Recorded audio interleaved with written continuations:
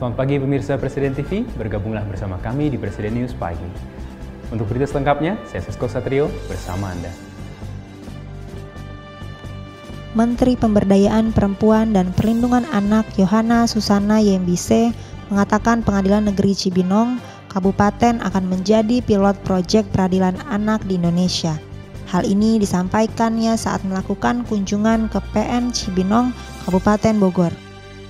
Dikatakan Yohana berlakunya Undang-Undang Nomor 11 Tahun 2012 tentang Sistem Peradilan Pidana Anak atau SPPA berimplikasi kepada aspek penegakan hukum anak yang bersifat ramah dan tidak menakutkan.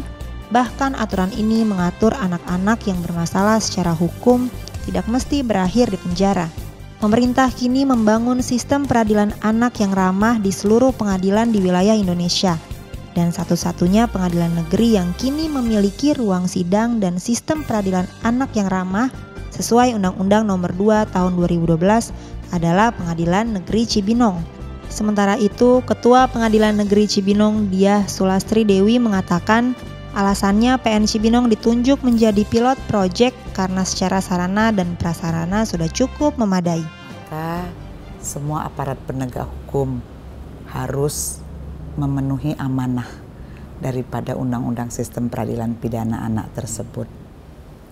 Boleh dikatakan aparat penegak hukum sudah wajib merubah paradigma di mana sebelumnya negara Republik Indonesia uh, dalam hal sistem peradilan pidana uh, paradigma keadilan itu stressingnya ditekankan kepada pembalasan yang disebut dengan retributive justice.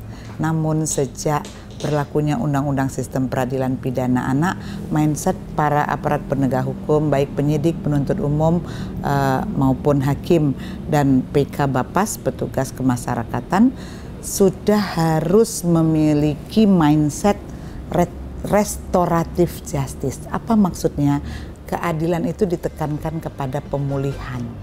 Dari Bogor, Jawa Barat, Nurholis Fadilah, Rudi Sahrudin melaporkan. Anda dapat menyaksikan seluruh berita Presiden News di situs resmi kami di www.presidentv.asia. Dan jika Anda memiliki informasi menarik, Anda dapat kirimkan ke email kami di redaksi.presidentv@gmail.com. Usai sudah kami menemani Anda, saya Sesko Satrio, selamat beristirahat dan sampai jumpa.